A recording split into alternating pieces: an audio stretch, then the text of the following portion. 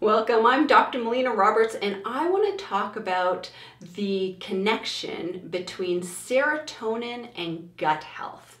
Now, I think this is such interesting information because once you get into the science of it, you can see the connection between the gut and the brain. And this to me is very fascinating information.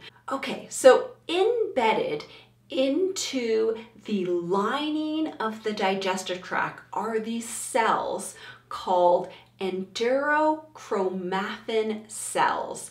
These are cells that are neuroendocrine cells, and these cells contain 90% of the serotonin in our bodies are produced in these cells that are in the lining of the digestive tract.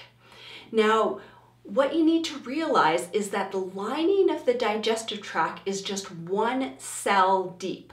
So within these endochromaffin cells, they get, so on one side is the digestive tract. So it's the lumen of the digestive tract. But within that lumen of the digestive tract is the microbiome. So it's all of these different microbes. So this cell, these cells communicate with those microbiome, those microbes that live within our digestive tract.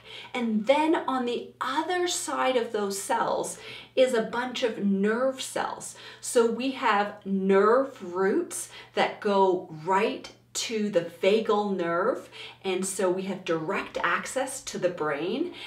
And then we have other nerve cells that are part of the enteric nervous system. So they will go to the spinal cord and then also have access to the brain.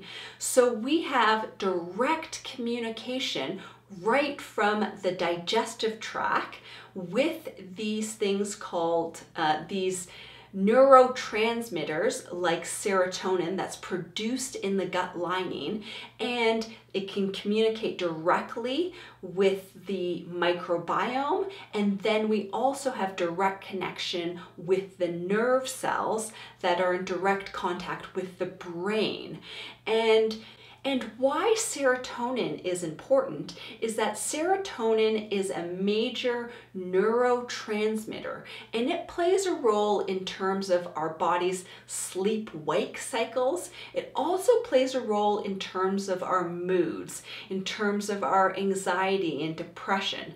So one of the key ways that we can help to take care of our brain health and our mental health is by taking care of the digestive tract because 90% of the serotonin is actually produced in the digestive tract, in the cells that are lining the digestive tract, these special cells that are embedded throughout the lining of the digestive tract that actually produce 90% of our serotonin. So this is a huge connection for the gut and the brain. And the better we can take care of the digestive health, the better we can take care of balancing out that microbiome and making sure there's diversity in terms of that microbiome and making sure that we heal and take care of the lining of the digestive tract,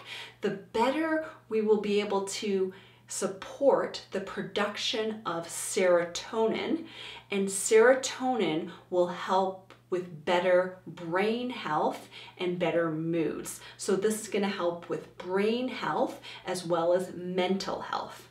All right, so thank you so much for watching. I encourage you to share this with your friends and family to press the like button, to press the subscribe button, to make a comment below. And until next time, continue to learn, grow, and build health. And I'll see you in the next video.